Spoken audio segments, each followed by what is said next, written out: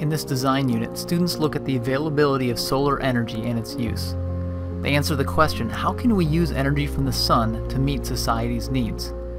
The challenge is to design, test, and refine a device which uses sunlight to heat one liter of water. Some of the guiding questions include, how have others used the light from the sun to heat water?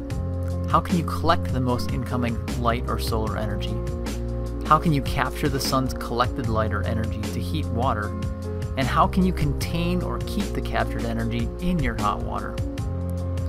Students participate in the engineering design process first by researching ways to collect, capture, and contain the incoming energy from the sun to heat water.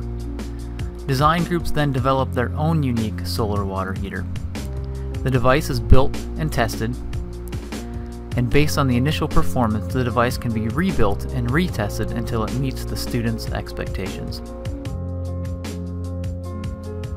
The use of solar energy is used in homes, businesses, and schools all across the world. And the ability to collect and use the renewable energy from the sun is an important piece of the puzzle for electricity generation.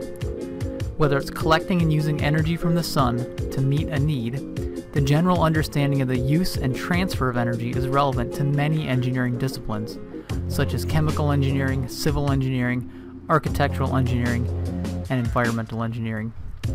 As the supply of conventional energy sources decline, the development of technologies that meet society's needs which use renewable energy sources, like wind and solar, will play a role in the solution to meet our ever-growing energy needs.